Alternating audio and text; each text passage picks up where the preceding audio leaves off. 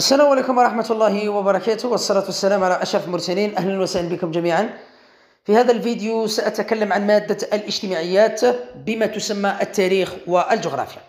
هو أنه في البكالوريا في مادة التاريخ والجغرافيا ما لازمش تبدأ مباشرة تحفظ. لازم تعرف كيفاه يجي الموضوع تاع التاريخ والجغرافيا. واش هي المنهجية اللي لازم علي أني نعتمدها في الإجابة؟ إلى آخر ذلك. نبدأ على بركة الله. لا يجب حفظ مادة التاريخ والجغرافيا منذ بداية السنة. ما لازمش تعب روحك منذ بداية السنة وانت تحفظ. من سبتمبر وانت تحفظ في مادة التاريخ والجغرافيا حتى الجوان بزاف عليك. هكذا عقلك لا يستوعب. العبرة ليس بعدد ساعات الدراسة. هذه لازم قاعدة تمشوا بها في حياتكم. ما يعنيش اللي يقرأ بزاف راح يدي مليح.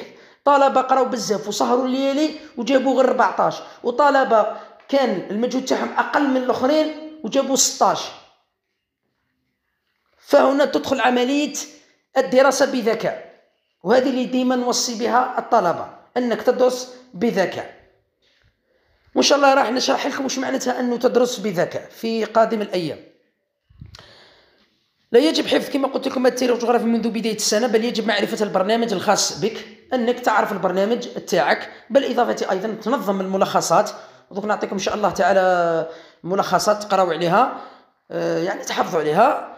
بالإضافة أيضا توجد الشخصيات التواريخ مصطلحات هكذا به تبدأ تحفظ مباشرة. ونوصيكم أيضا لما تبداو تحفظوا آه، الدروس حفظوا معهم المصطلحات لأنه ما تقدرش أنت مصطلحات تحفظهم منفردين وأيضا الدروس وحدهم. لا لا أحفظ الدروس ومعهم المصطلحات لأن المصطلحات تقدر تحفظها من خلال الدروس. هكذا به ما تتعبش. روحك. أيضا التواريخ تقدر تحفظها من خلال الدروس. تعود تحفظ مثلا في آه، درس الاستراتيجيات الخاصة بكل معسكري. يعطيك استراتيجية آه، المعسكر الغربي.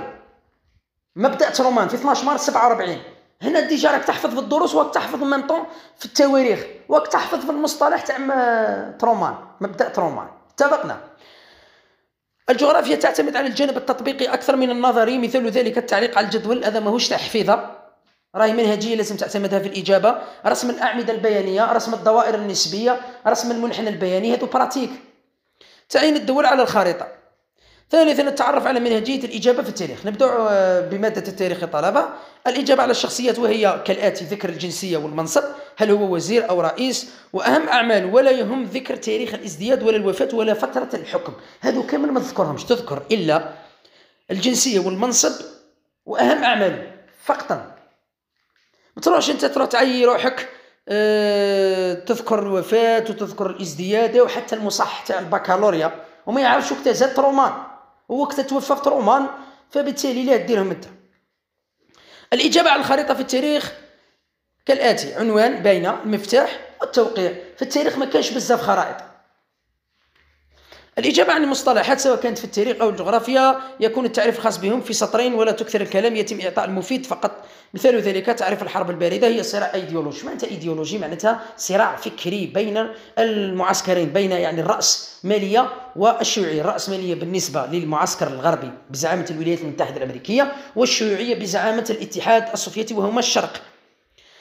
استعملت فيه كل الوسائل للمواجهة العسكرية يعني لم تندلع مواجهة عسكرية بينهما. رابعا التعليق على الجدول في الجغرافيا يكون على شكل عناصر يعني مطات ما لازمش دير على شكل فقرة ودير أربعة نقاط الرسم عليه زوج والتعليق على الجدول عليه زوج. أربعة نقاط هذو تقدر أنك غدوة عندك الباك تريفيزيهم اليوم وغدوة تروح تعقب تدي أربع نقط في الجغرافيا. عندك الكلمات المفتاحية اللي لازم عليك أنك ديرهم في التعليق على الجدول. التباين تفوق احتلال المراتب الأولى إلى اخر ذلك. الإجابة على الخريطة في الجغرافيا العنوان المقياس والمفتاح والتعيين. هذا راه واضح. الجغرافيا راهي فيها مجموعة من الخرائط إن شاء الله تعالى دوك نحطها لكم تدريجيا. يعني التحضير لمادة الاجتماعيات ما يبداش من الآن. لأنه آه، مازال عندكم الوقت تقدروا تبداو حتى عطلة الشتاء اللي حاب يبدأ بكري يبدأ من عطلة الشتاء اللي شايف روحه إنه ثقيل في عملية الحفظ إنه يبدأ من عطلة الشتاء يحضر في مادة التاريخ والجغرافيا. هذا بالنسبة لمعاملهم أربعة لشعبة الأداب وفلسفة وشعبة التسير واقتصاد. أما باقي الشعب معامل زوج ما لازمش عليك إنك تعطي لها الحجم الساعي كبير وإنما تعطي لها قد روحها. اتفقنا معامل زوج أما اللي لازم عليك إنك تركز عليهم هي المواد الأساسية مثل شعبة علوم تجريبية هي ال sciences ال maths physique والتاريخ والجغرافيا ما تخوفكش. على عكس المادة العلوم اللي لازم عليك أنك دير معاها مجهود هي وال maths وال physique. الإجابة آه، قبل الإجابة على الوضعية الإدماجية هي الإجابة على الخارطة عندك العنوان المقياس والمفتاح كما قلت لكم. خامسا الإجابة على شكل عناصر في الوضعية الإدماجية سواء في التاريخ أو الجغرافيا. يعني الوضعية الإدماجية في البكالوريا ما لازمش عليك أنك ديرها على شكل فقرة حذاري. راهي ما تصححش الوضعية الإدماجية تاعك. لأنه هكذا راح تعب الأستاذ في عملية التصحيح وإنما على شكل عناصر تجيب على سؤالين. دير مقدمة تاعك في سطرين بعدها السؤال الأول اكتب مثلا أعطيتكم مثال أسباب الحرب الباردة ست مطات السؤال الثاني دور حركة عدم الحيز في من تخفيف الصراع في تخفيف الصراع بين المعسكرين. ست مطات والخاتمة. هذا ما كان. هكذا تجي الوضعية الإدمانية سادسا حل البكالوريات السابقة. يا طلبة تساعدكم بزاف أنك تدي علامة جيدة. صدقوني في مادة الجغرافيا. والله غير المصطلحات راهي تتعاود من 2008 ل 2022 ما كان حتى حاجة جديدة. كلش راهو يتعاود. يعني انت كي تحل المواضيع من 2008 حتى ل 2022 في مختلف الشعب. مش مثلا شعبة الاداب وفلسفة ما تقدرش تحل تاع شعبة علوم تجريبية. لا نورمال حلهم عادي. المواضيع تاعهم حل جميع الشعب. عندكم سابعا التركيز في التاريخ على الشخصيات والتواريخ والمصطلحات المهمة. عندكم الشخصيات الأمريكية الشخصيات السوفيتية الشخصيات الجزائرية شخصيات حركة عدم الحياز والشخصيات الفرنسية. وكاين بعض الشخصيات من تندرج من الفصل الثالث إن شاء الله تعالى في هذه الأيام. نبدأ أنه آه نحط تدريجين الشخصيات والتواريخ والمصطلحات والدروس والخرائط. آه نذهب إلى موضوع التاريخ في البكالوريا. يكون فيه مصطلحات تواريخ شخصيات. قادر أنه موضوع تاع التاريخ ما يجيوش فيه خرائط. يعطيكم غير المصطلحات والتواريخ. لا بيبار أنه في المواضيع آه، تكون مصطلحات وتكون تواريخ وشخصيات. في شعبة العلوم التجريبية قادر أنك تلقى العكس. أنك آه، تلقى في الموضوع الأول شخصيات الموضوع الثاني ما تلقاش شخصيات. تلقى تواريخ. وقادر في كلا الموضوعين تلقى تواريخ تواريخ. فبالتالي ارجعوا للبكالوريات السابقة فقط أنك راح تزيد تدي فكرة كيفاه يجي موضوع تاع البكالوريا في التاريخ والجغرافيا في مختلف الشعب. وضعية الإدماجية أنه آه، موضوع تجي فيه حرب باردة وموضوع ثورة جزائرية. هذه لا بليبار من 2008 هما يخدموا بالطريقة هذه يا طلبة. آه عندكم المصطلحات بالنسبة للجغرافيا عندكم الخرائط والرسم البياني.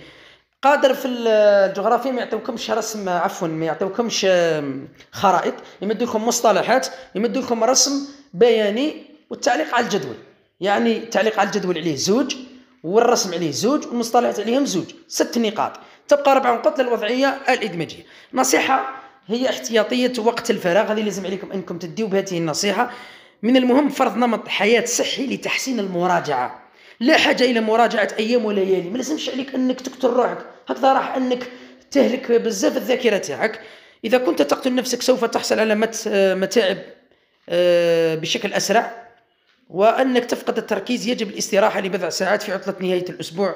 أنك تمارس الرياضة تتنزه مع الأصدقاء إلى آخر ذلك. الشيء الرئيسي هو فك الضغط على نفسك وتغيير الروتين. ما تبقاش في نفس الروتين ما يعنيش أنك عندك باك ما دير والو في حياتك. دير آه، حياتك normal وإنما آه، نظم وقتك فقط. نتمنى أنكم ديتوا حوصلة حول مادة التاريخ والجغرافيا كيف تجي في البكالوريا. وإن شاء الله تعالى في قادم الأيام راح تزيدوا تفهموا أكثر وأكثر. بإذن الله تعالى مادة التاريخ والجغرافيا صدقوني من أسهل المواد على الإطلاق. شعبة العلوم التجريبية وشعبة اللغات وشعبة التقنية ألتاو بالمواد الأساسية. وبعد يدير ربي طريق في آه، التاريخ والجغرافيا.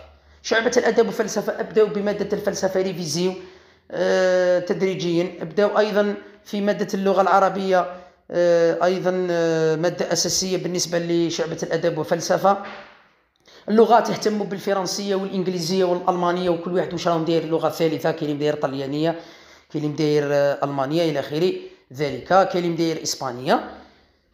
أتمنى لكم التوفيق والنجاح. ديجا راكم في شهر أكتوبر وأن العطلة تاع الخريف راهي في 27 أكتوبر تمتد حتى ل 6 نوفمبر. عشرة أيام هذه يعطوها لكم من أجل المراجعة للفروض لأنه بعد ما أنه توليوا من عطلة الشتاء عفوا عطلة الخريف مباشرة تدخلوا في عملية آه، الفروض. الاختبارات راهي في شهر ديسمبر يعني أنه الحالة راهي تجري. غمض عينك تلقى الباك جا تلقى روحك في الجنة.